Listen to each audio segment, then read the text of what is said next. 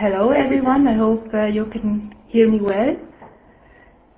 So uh, yes, my name is Carmen Eckter. I am the coordinator of all the D groups we have uh, at SDC. And uh, I will uh, do the presentation together with Carsten. Maybe you also want to say a few words about you. Hello, my name is Carsten. I'm sitting, sitting beside Carmen and we have to unmute and mute our microphone. I hope you can understand me well. My, I'm working for Agridea. We are a resource center on agriculture and rural development in Switzerland and currently advising SDC on questions about knowledge management. So um, you, you see already, we as SDC, as a government organization, we have a close collaboration with uh, external partners, but this will be uh, mentioned later more in detail. So how is D Group used at SDC? We have uh, thematic networks. They are institutional networks here at SDC and they use D Group as a communication channel. Also, those networks, but also other groups, use the, the mailing list for the preparation of face-to-face -face events, mainly for the logistics, but also to discuss content that will be treated later in the, in the event. So to pair also the content. Um, there are also thematic discussions that have nothing to do with a concrete event, but just um, a discussion to, to prepare a paper or to have an exchange about common practices. Also, we have uh, the USD groups for the communication between different networks. That means um, that, for example, two networks can, can have one common e-discussion or have an exchange on, practices. And we have also all the network facilitators, that means all the persons that moderate discussions and um, the audience, the network they have their own D group and they can have a peer exchange on facilitator um, we use D groups also to communicate institutional information. That means um, if, for example, the IT department or another important department for, of SDC has something to tell to, to networks, then they do it through, um, through D groups. And um, yes, that was mentioned before already, the discussion between two networks. So what are the trends and highlights uh, in using uh, D groups in the organization? One highlight um, is that D groups is really an established tool so what was mentioned before, that it's um, really integrated uh, in, in the working process.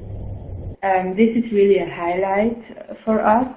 And also the, the satisfaction of the users is quite high, especially since the, the redesign.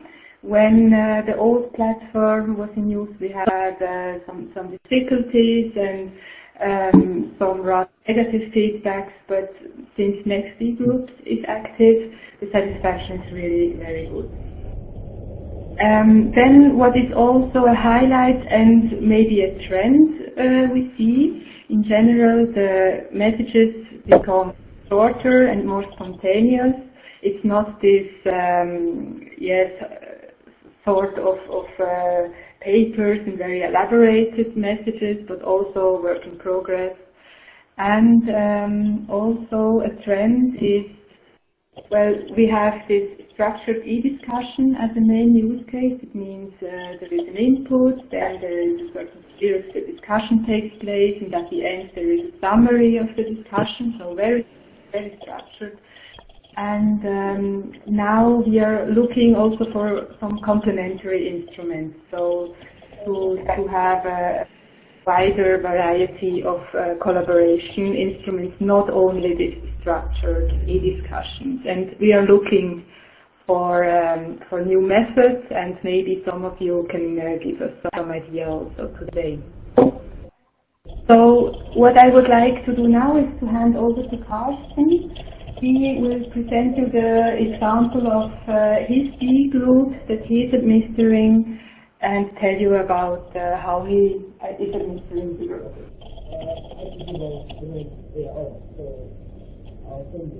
Okay.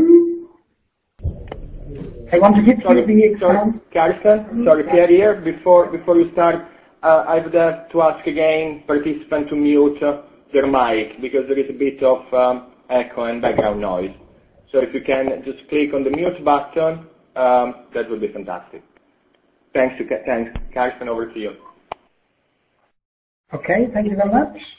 I want to give you one example of a um, quite well-functioning um, D groups at SDC. As you might know, um, the SDC is consisting of um, thematic networks where the um, thematic uh, subject matter issues are not dealt only at headquarters. Um, such networks really are decentralized. The um, focal point and the core group might sit at head office, but the main parts of the networks really are decentralized in the field offices. and uh, with the following slide, with the very nice statistics tool, there you can see as well the geographical distribution of members. Um, for sure, there is um, quite um, a lot of members sitting in Switzerland with all implementing partner organizations, but there you can see the small dots, a lot of members of this network really sitting in the country offices, uh, like the hotspots of besides UK, where the um, think tanks and the consultancies are sitting, we have um, really a lot of decentralized structures in the network.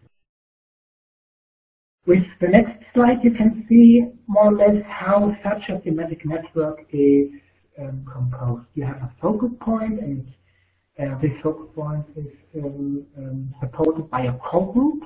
This core group can sit as well at head office or as well decentralized.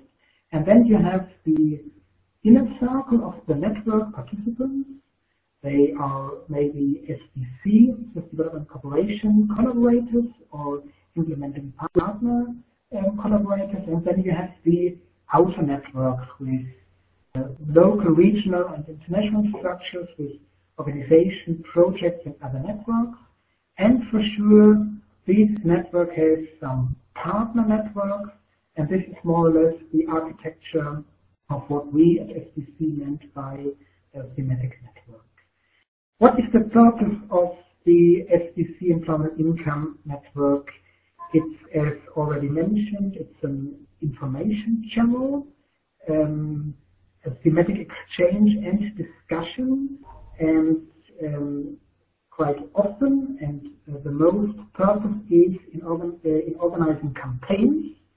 We at the um, um, Sector Development uh, Network or um, e-group, we organize organizing three or four times per year, three um, weeks or four weeks campaigns where we aim to discuss one specific um, topic. And as I said, the membership in the D group is much more than just the network, as I presented before. We are counting now more than 300 um, members and maybe 60 or 70, that means only one third, are SDC collaborators. The others are practitioners, academia, consultants, think tanks, and really people from other networks joining in because they see there's a good return on information flow. The goal of um, such discussions is really learning. We want to improve our activities by listening to others, by asking and answering questions, and very important, sharing of um, good practice. And maybe you um, listen carefully to Carmen. She mentioned that next D group now is a satisfactory um, issue within SDC that was quite different before. And we think that Next D groups has improved a lot, calling Next D groups improved a lot, and it's really more than just a mailing list. It's so nice with the membership profiles. Um, unfortunately, they are not very well filled in. Um, this um, requires really a campaign within the network that members really fill in their profiles. But um, it's so nice to see after the relaunch that those profiles are really um, um, written in more carefully by the members.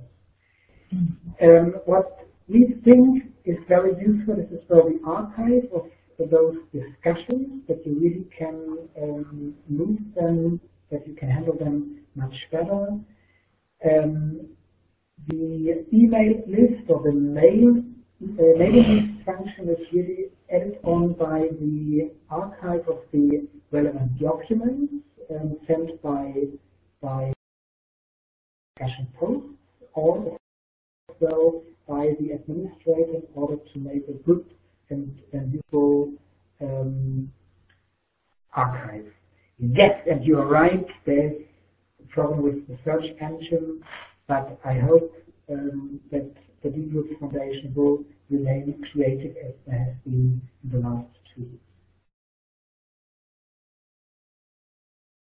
What's unique about our ENI, Employment Income Network D Group, it's really a mixture of internal persons with external persons.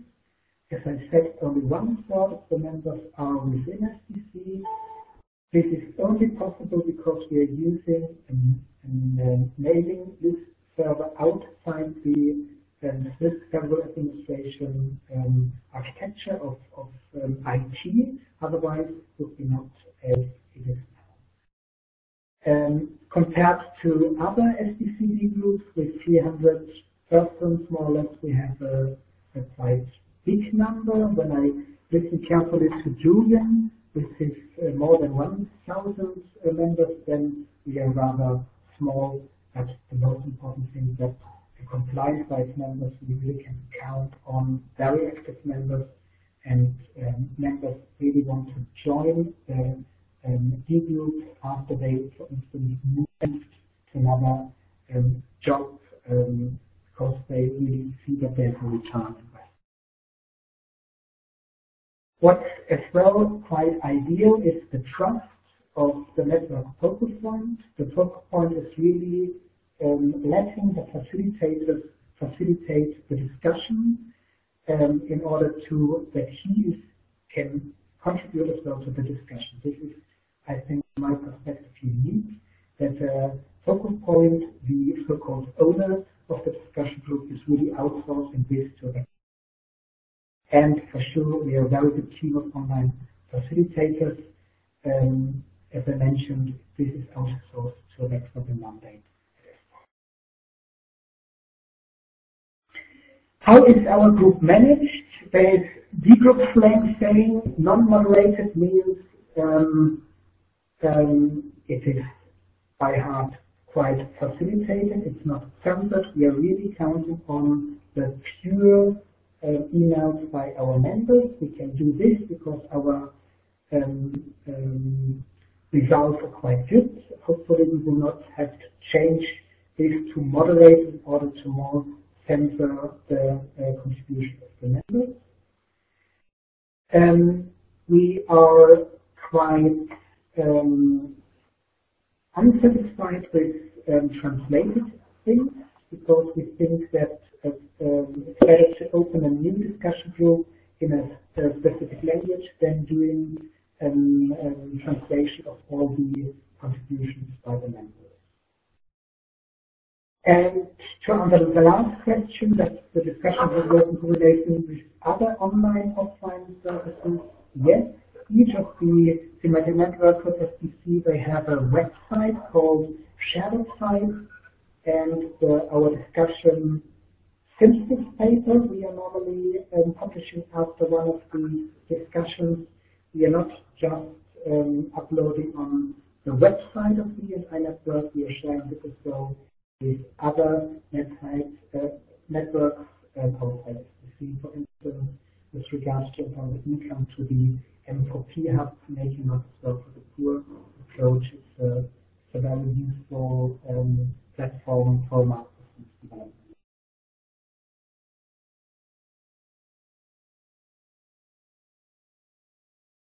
And then may I hand back to you? Yes, Carsten, thank you. So I would um, like to end our presentation with um, some reflections and then, uh, uh, yes, takeaway message and some questions to you also.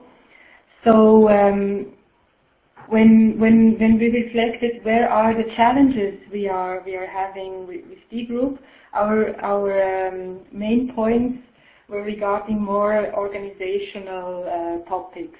Of course, there is the, the thing with the search that doesn't work really well, and also the statistics is not uh, is not quite uh, um, optimal, and also the overview of the um, of the blocked messages. For example, to have a, to have a box where you can see which were rejected, which none. So, so all these uh, functionalities that could be improved on the platform itself they're also there for us. It's uh, an issue.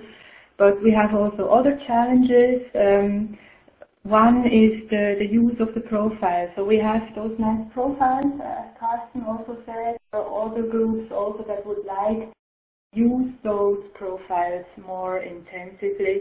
But uh, how to um, to make the members fill in fill out their profile or should the effort be taken to do it as an administrator, it is a lot of work to do, but it would be really good to have those profiles more uh, completed. Then uh, at SDC we have uh, a rather strict IT environment. Uh, uh, in the in the main core in the main quarter, but also in our cooperation offices, so it's always a challenge uh, to assure that D groups is really functioning uh, well and that the messages are arriving and they're not blocked because these things they're spam. Um, and then, yes, in the future there are some changes planned in our IT environment. That means we will have a, a new collaboration platform. And this collaboration platform will have also mailing list functionalities. So uh, it, is, it is a bit the question how uh, should we continue to use eGroup because it also has its, uh, its um, advantages. And this is uh, still an open question at, at SDC. I don't know if others of you maybe have similar uh, situations. Um, then also, since D-Groups is an external tool, this goes together with the high security levels we have, it's always a bit of bargaining um, to, to build trust in our IT department and uh, yes, to, to accept it really as a, an established instrument. Yes, the changes I was uh, mentioning before, I'm jumping a little bit. We want to yes, still the new e-collaboration platform, and the trend is to have uh, one platform that um, includes different um, collaboration functionalities, um, mailing list, but also discussion forum and other things. So to centralize it a little bit, it's similar to what, what um, was mentioned in the presentation of FAO before, people want to have all in one place, like in Yammer or in Facebook. We have uh, a bit the same here at SDC. Then the takeaway message for us, it's really important that the usability for the organizers is is um, is so good because it is, uh, it is an incentive to use this platform if you can explain it very quickly and people can start to work right away without uh, a big um, a big explanation.